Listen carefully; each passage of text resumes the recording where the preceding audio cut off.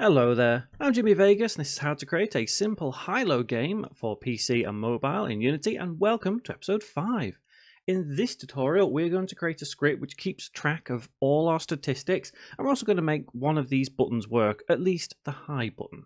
Don't forget, click subscribe and click on the bell icon as well to stay up to date with every tutorial to come in this series and everything else on game development on my channel. And if you've enjoyed this series so far, please feel free to check me out on Patreon or YouTube memberships where you learn things like early access, exclusive content, project files, and so much more. With that in mind, let's get to work.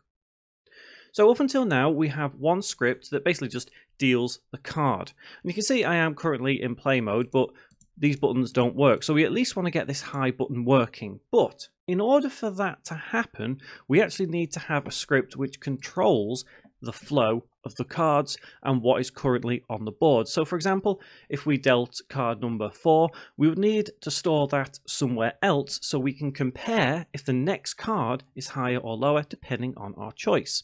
So we're going to create a new script. So down here, let's click on create and C sharp script. And this one will be card control. And let's open that up in Visual Studio. We've opened the other script up there. There we go. So, just like the last one, this is how it looks by default. Now, there are a couple of things that we do need to mention here. Firstly, we need to have a variable which keeps track of, like I say, that dealt card, but we need to declare that variable slightly differently. So other scripts need to talk to this script to tell it what the cards being dealt are, whether we've chosen high or low. And when we declare these variables, we need to set them as static. That way, the, any number we pass to this script can be read. So let's get rid of the annotations because we don't need them. Delete them out. And let's start by going public static. Remember, capitalization is massively important. So like I say, the word static will enable us to pass uh, different variable types to this script. It's still going to be an integer, and it's going to be dealt card number. So what we'll do is we will pass whatever number we have dealt to that first stack to this script as well. Because like I say, this script is going to be the one that compares what's going on. So on the flip side of that, we also need the new card number as well. So public static int and we'll what should we call this one? Let, us just have this one new card number. Eventually, we'll also have to pass that card over to the dealt stack if we get it right, because then we need to carry on the sequence. But don't worry about the sequence just for now, as long as we get the main mechanics working. So while we're here, because we have this new dealt card number variable in place, let's save that. And let's go to our original deal card script. And what we'll do is when we have dealt the card, we then need to go on a new line below and say card control, you see it right there, it's highlighted in a light blue, dot dealt card number, and you can see it there in the list, and we'll make it equal to card generate with a semicolon. So now, at this point, once we've dealt the card, we see it on the screen, we've hidden the deal button and we've unhidden the high-low button. This now passes whatever card number we've dealt to this script. So at this point, this variable will be equal to example 4 if we've dealt the card number 4. So let's save that and save deal card for now. And let's head back into Unity.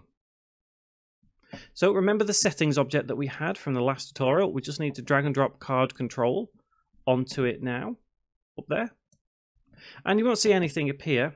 Now, I must point out here that if we have a static variable in our script, it will not appear in the inspector panel. Don't worry about that at all. It will still work as intended.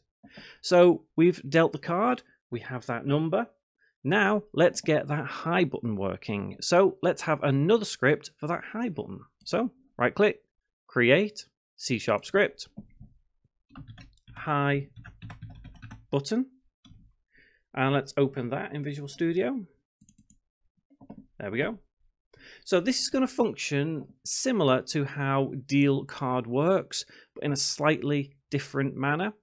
So what I'm going to do is I'm going to actually copy from deal card those variables and the public void deal my new card.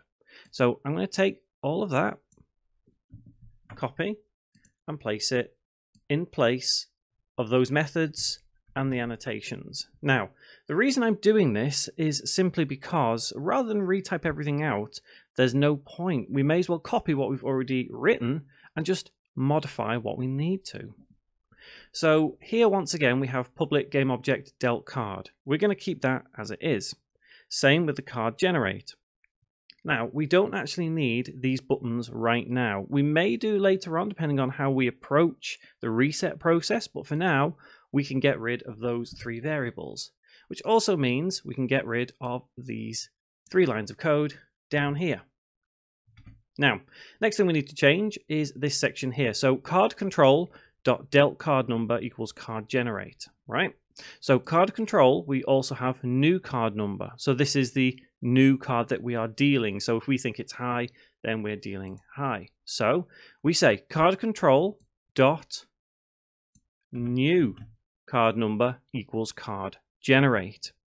So at this point, if we save this script, now once we've clicked high, this will have all the information it needs to decide whether we have uh, got that right, whether it is indeed high. Now, there is one question to ask at this point. If we draw the same card, do we win?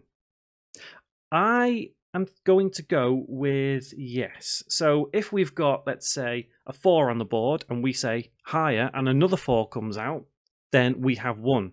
So I'm going to use annotations just to make sure in this script we know what happens. So let's have a double slash here and we will say that equal number equals winner.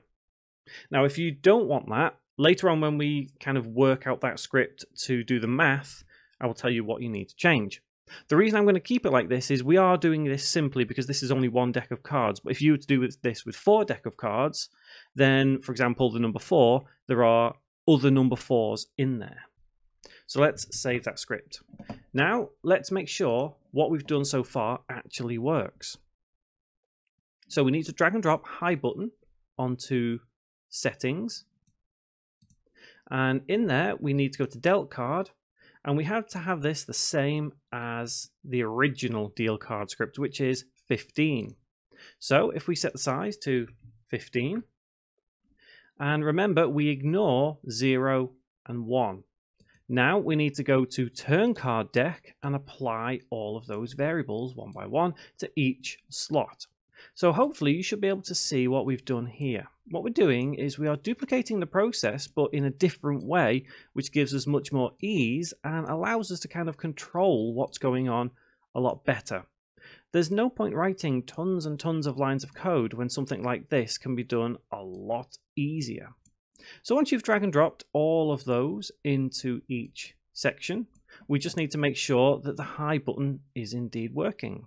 So let's go to high button and much like we did with the deal button, we click on plus and we drag and drop settings into non-object here and no function lights up. We go to the drop down list, we'll go to high button and we will go to, in fact, before we do that, what I would like to do is actually change this. Rather than have deal my new card, let's have this as deal high card. I think that's probably a little bit more sensible given what we're doing here. So deal high card. Wait for it to recompile in Unity. And let's do that once again. So we've got settings in there, no function. Let's go to high button, and then we'll have deal high card. So let's set that there. And obviously there's much more to this. We need to restrict what's going on. We'll have some UI appear on screen, but that will all come when we put together how this is all working. So let's press play and see how this works. So, deal card. We have a jack. Let's try and go high. And we did indeed get a higher card.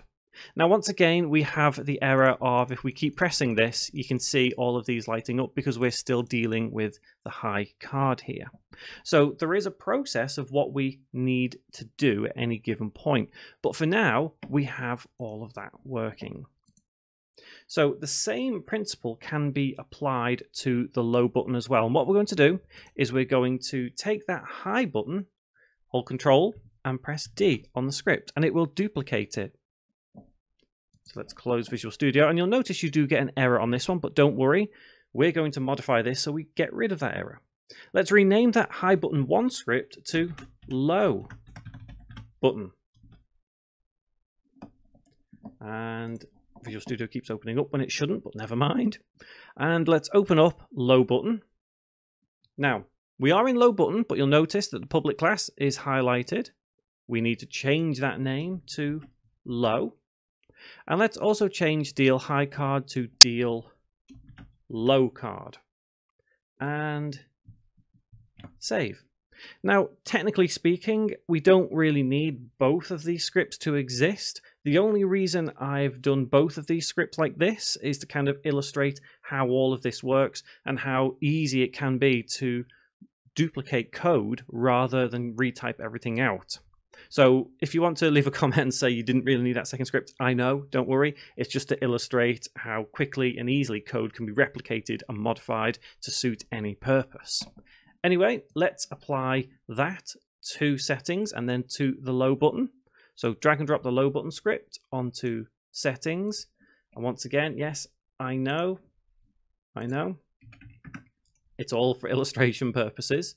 It's up to you whether you want to do it this way or not. You could theoretically apply the high button, but again, depending on what we're doing here, because this is a simple one, it would work if you apply the high button to the low button, or rather high button script to the low button. But if you are going much more advanced, you may need multiple scripts, depending on what you want to do, or multiple methods in one single script, which obviously you can do. So all of these are pretty much applied now. So that will mean that both our high and low buttons will work as intended once we've applied that script to the low button. So you can see how fast I'm doing this now. I think I mentioned it a couple of tutorials ago. Once you get so accustomed to Unity, you can just kind of flow through and get everything done really quick. So I'm going to save that. I'm going to press play and check out my low button and just make sure that works. So deal card, low, there we go. But once again, it does indeed add all the other cards. So we have all of our buttons working now. Uh, next tutorial, what we're going to do is we're going to add in a sequence to basically say, uh, yes, we've got it right, or no, we've got it wrong, and we reset everything to either guess again for high-low, or reset everything to have another card dealt. So until that next tutorial, thanks very much for watching, guys.